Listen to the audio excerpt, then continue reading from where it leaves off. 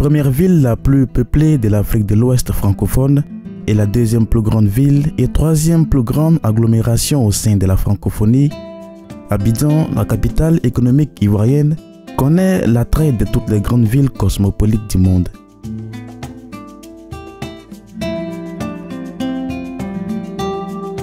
Abidjan est considéré comme le carrefour culturel ouest-africain et connaît une perpétuelle croissance caractérisée par une forte industrialisation et une urbanisation galopante.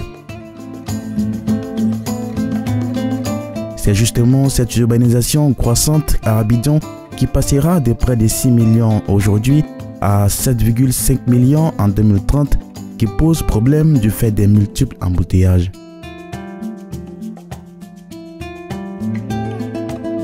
La Côte d'Ivoire a donc lancé la construction de l'un de ses plus grands projets d'infrastructure, celui du métro d'Abidjan.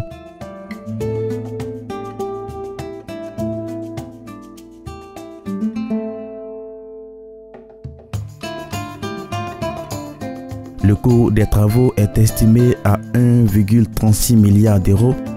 La ligne traversera la métropole ivoirienne du nord au sud sur 37 km jusqu'à l'aéroport.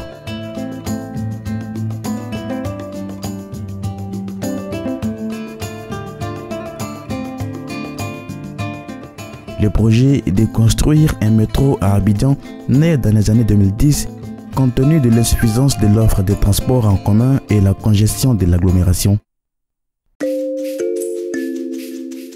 Les services de transport disponibles, autobus de la Soutra, taxis compteurs et communaux, les Warwaro Baka, Pinas et bateaux-bus qui parcourent la lagune Briée ne parviennent pas à répondre à l'ensemble de la demande de mobilité.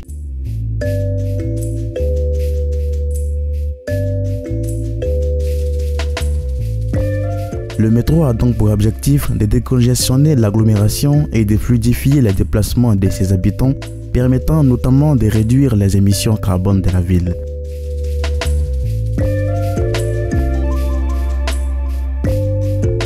L'État de la Côte d'Ivoire déclare l'appel d'offres infructueux, mais conformément au Code des marchés publics, entre négociations exclusives et le consortium constitué de Bouygues Travaux Publics, Donsan Engineering et Hyundai Rotem.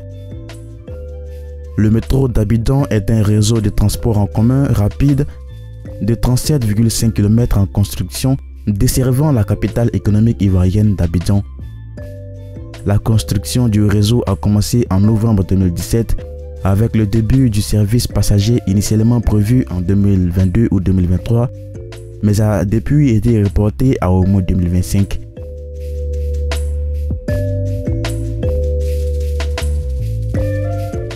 Initialement prévu pour comprendre une seule ligne avec 13 stations réalisées par Bouygues Dongsang, un consortium franco-coréen, le projet a depuis été étendu à une seule ligne nord-sud de 20 gares.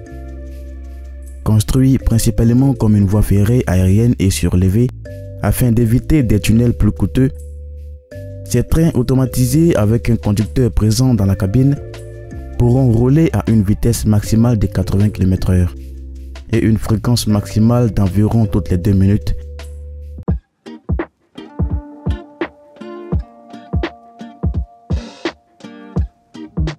La ligne 1 du métro d'Abidjan devrait transporter 500 000 passagers par jour, soit 180 millions par an.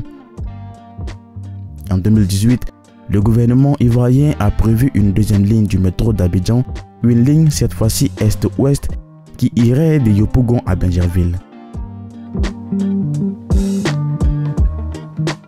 Ces réseaux de transport rapide surrelevé assurera la liaison nord-sud de la capitale économique de la Côte d'Ivoire, d'Anyama au nord à l'aéroport au sud, en passant par les quartiers d'Abobo, d'Adjamé, de Trècheville et de Port-Boué ainsi que le centre administratif et économique du plateau.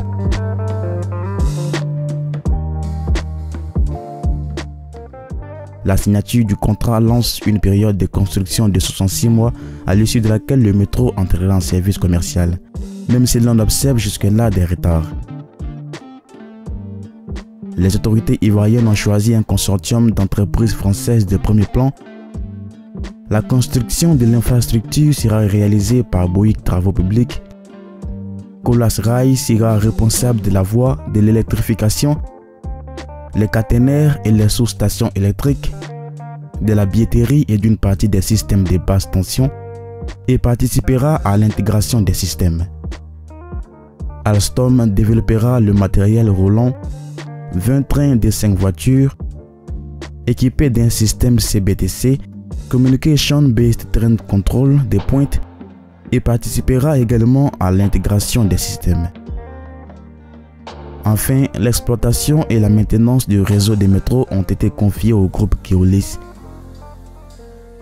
Le trafic sur les réseaux est prévu dès l'origine pour accueillir 500 000 voyageurs par jour, transportés par une vingtaine de trains, circulant toutes les 5 à 10 minutes en heure de pointe.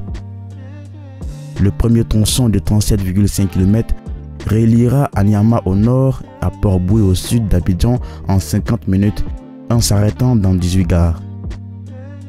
Le projet répondra aux standards technologiques et aux normes environnementales des dernières générations. Après avoir reçu l'ordre de service, Bouygues Travaux Publics a réalisé les travaux préparatoires du futur réseau de transport rapide sur relevé d'Abidjan. Le contrat de travaux préparatoires définit la mission de Bouygues comme étant la réalisation des déviations des réseaux et la préparation de l'empire foncière sur les 37 km de lignes à construire. Ces travaux font suite à la libération des terrains par l'État. Ce projet d'infrastructure est le plus important programmé en Côte d'Ivoire. Traversant la lagune, le métro permettra de désengorger une capitale de près de 6 millions d'habitants qui représente 36% de la population ivoirienne et souvent bloqué par les embouteillages. Avec la clôture de la phase de financement et l'entrée en vigueur du contrat, cet ambitieux projet de mobilité vise à accompagner la croissance économique et démographique de la capitale du pays. Ce métro à ciel ouvert, le plus ambitieux projet de transport collectif en Afrique subsaharienne, permettra d'améliorer la fluidité du trafic et de désengorger la ville d'Abidjan les principaux éléments du projet comprennent la construction de 18 stations, 24 ponts, un viaduc sur la lagune, 34 passerelles piétonnes et 8 passages souterrains.